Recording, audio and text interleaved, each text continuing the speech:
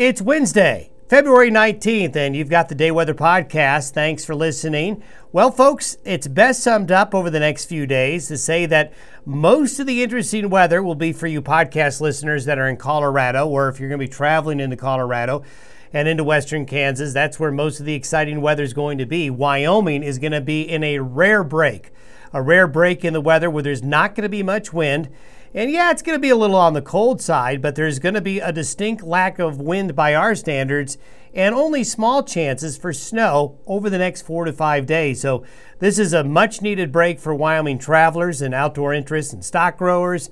But Colorado, we'll show you here in a minute, you've got a little bit of snow coming your way. Long term, we get back to colder, unsettled weather next week, but in the meantime, we've got a bit of a break coming. Let's talk a little bit about the snow chances coming for folks in Colorado. There are two storms coming. Storm number one is going to come in late tonight and into tomorrow, producing snow along and south of the I 70 corridor. This will include the Denver metro area. You get north of Denver, there's not going to be much. South of Denver, Colorado Springs, Pueblo.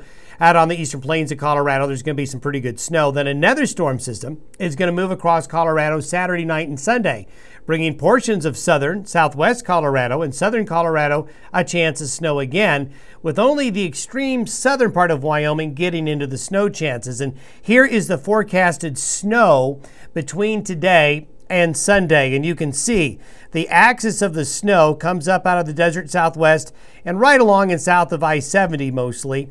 This first snow event that's coming tonight and tomorrow will affect this area here, but especially southeast Colorado. The next event coming late Saturday into Sunday will bring snow into some western slope areas of Colorado. And you can see there's a northern edge, and this is a maybe might get into far southern Wyoming with a little bit of snow Saturday night and the Sunday. That's uh, that's a maybe. But look at Montana. Look at the rest of Wyoming, eastern Idaho, western Nebraska, western South Dakota. Nice weather for a change. That's right. Not much wind and nice weather conditions. So, not often we get to draw a smiley face, but hey, why not?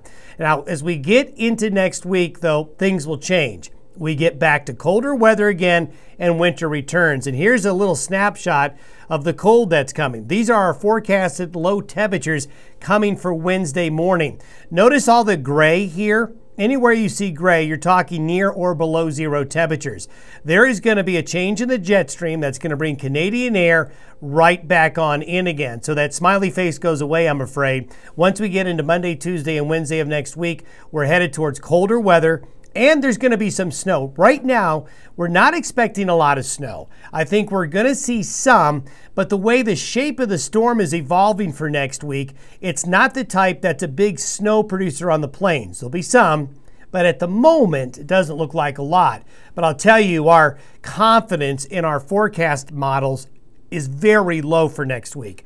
We just really don't have a lot of confidence that any computer model right now has next week's weather well handled, other than to say, yeah, it's going to turn quite a bit colder again next week, and you can see that cold there. We're pretty confident of the cold. We're not confident about how much snow we're going to get. And this is one reason why. This is the forecasted jet stream for Tuesday morning. We got a ridge building in the Gulf of Alaska. When there's a ridge up there, we're in the fridge with the colder air coming in. But notice the low pressure aloft wants to be more centered over South Dakota. You got to get it down here for a big snow event on the plains. As long as it takes this northerly track, then snow will be low in terms of amounts on the plains. But notice we've got waves coming in behind it, little ripples. Here's another one here. What the jet stream is going to be doing late February into early March is acting like this. So what this means is we've got this nice break in the weather now, but starting next week and heading into early March, do expect the snow chances to go up. And really, March is going to be off to a cold start. Thanks for tuning in to the Day Weather Podcast. We'll talk to you on Thursday. Have a great Hump Day Wednesday.